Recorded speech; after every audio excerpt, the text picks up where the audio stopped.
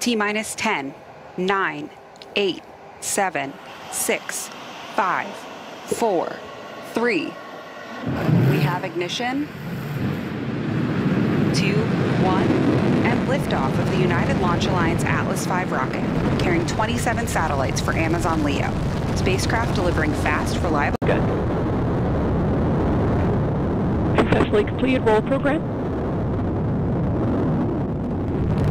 Booster engine continues to operate as expected. Mach 1, Atlas 5 is now supersonic.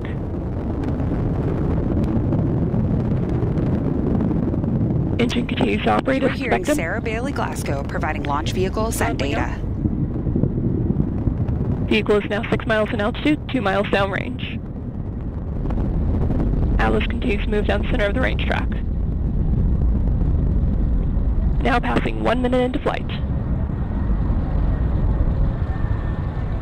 Throttling down, engine continues to burn normally.